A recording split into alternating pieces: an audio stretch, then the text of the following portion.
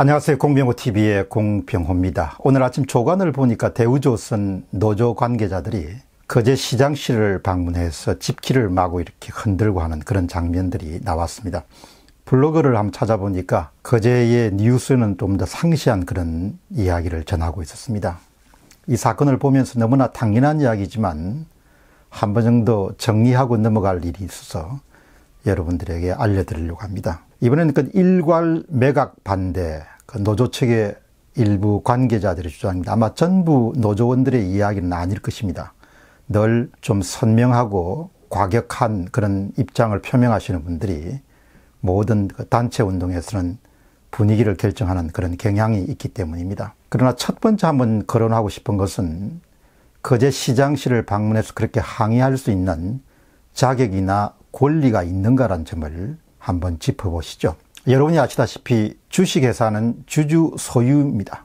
주인이 노조원들이 아니라는 셈이죠. 이 점은 대단히 중요합니다. 그러니까 일괄 매각을 하든 부분 매각을 하든 그 모든 권리와 의무의 주체는 지배주주가 갖고 있는 것이죠. 그동안 오랜 기간에 걸쳐서 대우조선에서는 천문학적인 공적 자금이 투입됐습니다. 그 결과로 국책은행인 산업은행이 대주주 자격을 갖고 있습니다. 이번에 통계 자료를 보니까 55.7%를 산업은행이 소유한 그런 일종의 국영 조선 회사가 됐습니다. 물론 그와 같은 사건이 발생하게 된 것은 1999년도 대우그룹이 해체가 되면서 가장 중요한 계열사 가운데 하나인 대우조선이 결국은 공적 자금이 투입되면서 본의 아니게 산업은행이 지배주주의 역할을 그동안 맡아왔습니다. 그럼 산업은행이 결정을 하는 것이죠. 부분 매각을 할지, 일괄 매각을 할지, 누구에게 팔지, 이런 부분들은 전적으로 산업은행이 결정할 사항입니다. 우리 사회가 조금 더 이렇게 성장하고 발전하기 위해서는 내 것이 무엇이고 다른 사람 것이 무엇인지, 내 권리가 무엇이고 다른 사람의 권리가 무엇인지 좀 명확하게 구분하는 것이 대단히 중요하죠. 그렇기 때문에 일부 노조원들의 거제 시장에서 다투는 그런 일을 보면서 제가 그냥 본능적으로 보인 반응은 그것은 당신 것이 아닙니다. 당신의 재산이 아닙니다. 당신이 주장할 수 있는 사안이 아닙니다. 당신이 영향력을 행사할 수 있는 것이 아닙니다. 이런 부분이 먼저 떠올랐습니다. 그 다음 이제 두 번째 주제로는 그동안 대우조선에 우리가 얼마나 투자를 했냐 이야기죠.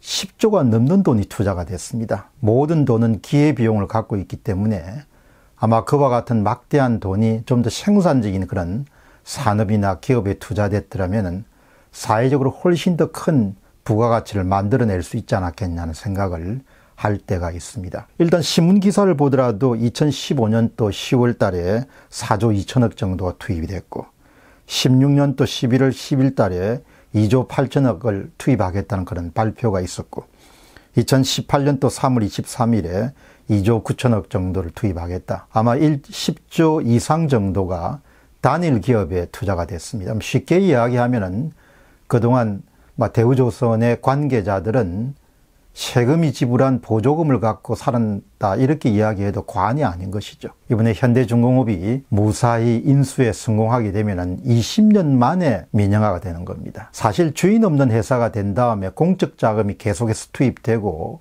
산업은행과 같이 그렇게 국책 은행 관계자들이 또 파견이 되기 시작하게 되면은 회사를 누가 그렇게 챙기는 사람이 참 드물 거라는 이야기죠. 그냥 재임하고 있는 동안에 크게 무리 없이 그냥 있다가 나가면 되죠. 그렇기 때문에 일단 공적 자금이 투입된 회사는 가격이 좀 낮은 수준이라도 가능한 빠른 시간 내에 주인을 찾아서 매각하는 것이 세금 낭비를 줄이고 회사를 살리고 또 중장기적으로는 회사의 구성원들에게 안정적인 직장을 보장할 수 있는 굉장히 중요한 방법 가운데 하나죠. 20년 동안에 숱하게 많은 사람들이 바뀌었을 것이고 그 과정에서 주인 있는 회사였으면 훨씬 더 야무지게 경영을 했었을 텐데라는 그런 생각을 하게 됩니다. 불가피한 경우에 우리가 공적 자금을 투입할 수 있는 부분이 발생하게 되면은 가능한 빠른 시간 내에 주인을 찾아서 넘기는 것이 사회 전체가 다 이익을 보는 부분이다. 그러니까 쉽게 이야기하면 10조 원 정도의 공적 자금을 20년간 받은 회사니까